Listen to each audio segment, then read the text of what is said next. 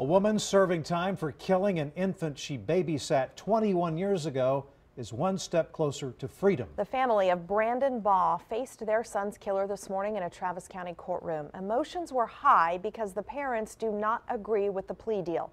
KXAN Sophia Beausoleil explains what happened in court. Cathy Lynn Henderson took a plea deal in which she pleaded guilty to first degree murder and she was sentenced to 25 years behind bars in which she already served 22 of it. She also waived her right to a jury trial. This is all I have left of Brandon in the picture over there. It's been two decades, but to the Baugh family, the pain of losing their three month old son still feels as fresh as yesterday. You put us through hell the last 21 years with no thought to the continuing damage that you were causing us. Brandon Baugh's mother, father, sister, and grandparents faced Cathy Henderson, the woman who killed Brandon in 1994.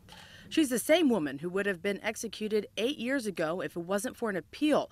That's when the medical director had said new science raised questions on Brandon's death and whether it was actually accidental. She was within 48 hours of being executed when the courts made a decision to grant a reprieve, temporary reprieve for further hearings. John Evans is an attorney for Cathy Henderson and was put on the case less than three years ago. He was with her in court when she accepted the plea deal, saying she's guilty of first degree murder. You know, today is really a day about the Baughs. It's a day, hopefully, that brings them some closure in life, helps them to move on with the rest of their life. But the Baugh family is not happy and believes the justice system failed their son. The grieving process never ends. You will always miss the person that you lost, your loved one. It never heals. Sophia Beausoleil, KXAN News. The Baugh family says they never agreed to the deal and they believe the system fumbled. Henderson's attorney anticipates she will be out of jail in 2019.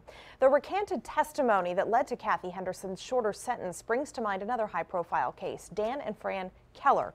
They were released after spending 23 years in prison for sexually abusing children in a satanic ritual. An emergency room doctor's testimony was the only physical evidence that proved a crime even existed. Years later, that doctor said he was wrong.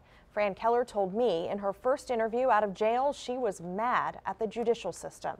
How people hide evidence, how the juries don't listen, trash science, people that aren't experts, and all this put together. I'm angry at the system. The Texas Court of Criminal Appeals tossed out the Kellers' conviction but didn't go so far as to exonerate the couple.